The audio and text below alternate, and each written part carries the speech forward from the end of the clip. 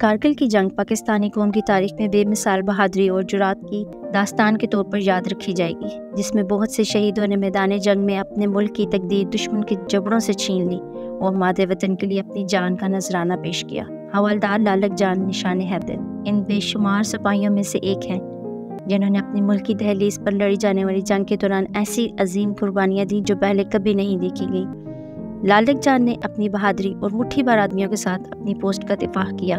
और मुतद भारतीय हमलों को पसवा कर दिया। दुश्मन ने सैकड़ों लाशें पीछे छोड़ दी।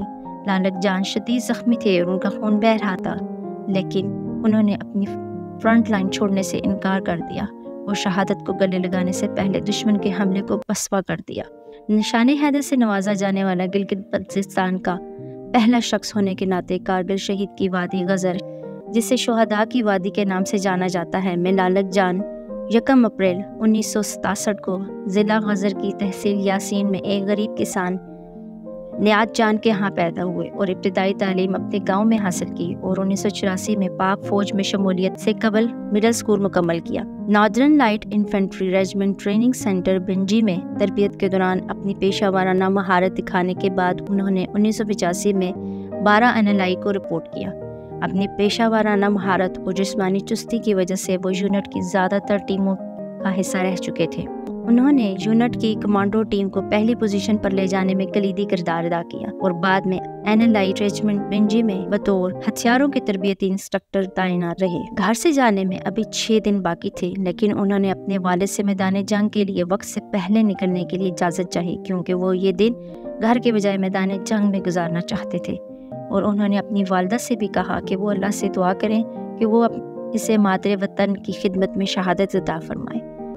चारों तरफ़ से भारतीय गोलाबारी से घिरे हुए मैदान, जंग में लालच जान भारी मार्टर गोलाबारी के नतीजे में शदीद जख्मी हुए, लेकिन अपनी पोस्ट पर शहीद होने से पहले भारतीय कैंप को ज़बरदस्त धचका पहुँचाने में कामयाब हो गए।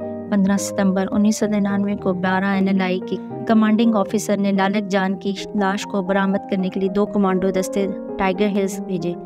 जब उनकी लाश मिली तो लालक जान ने ए के फोर्टी सेवन को अपने सीने से लगाया हुआ था। शहादत की ख्वाहिश पूरे होने पर उनके वालिद ने अल्लाह का शुक्र अदा किया और कहा कि उनके बेटे ने अपनी जान से ज़्यादा अज़ीज़ पाकिस्तान के इस मुकदस बाग को सैराब करने के लिए अपना खून कुर्बान कर दिया।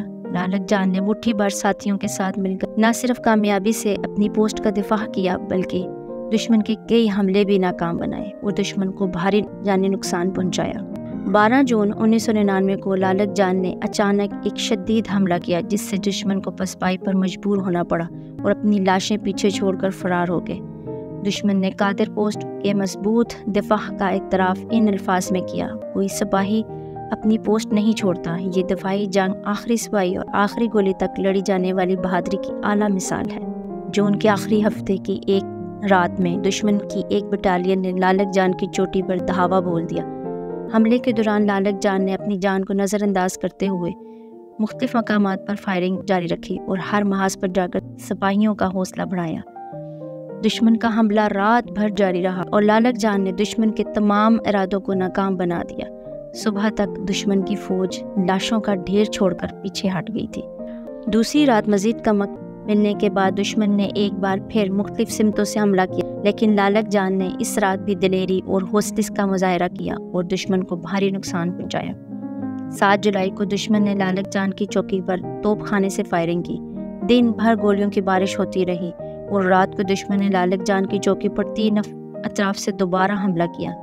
जिससे जान शदीद जख्मी हो गया। कंपनी कमांडर के इसरार और जख्मी होने के बावजूद अपनी पोस्ट पर डटे रहे और दुश्मन का मुकाबला करते रहे। जब कैप्टन अहमद ने उनके जख्मों की शिद्दत को देखते हुए उन्हें वापस आने का हुक्म दिया तो लालक जान शहीद रहमत ने तारीखी अल्फाज में जवाब दिया, मैं अस्पताल के बिस्तर में जान गंवाने के बजाय मैदान जंग में दुश्मन से लड़ते हुए अपनी जान कुर्बान करूँगा।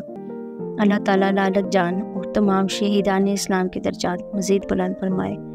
जिन्होंने हमारे लिए और हमारे कल के लिए अपना आज कुर्बान कर दिया। आमीन। Please like subscribe and share my channel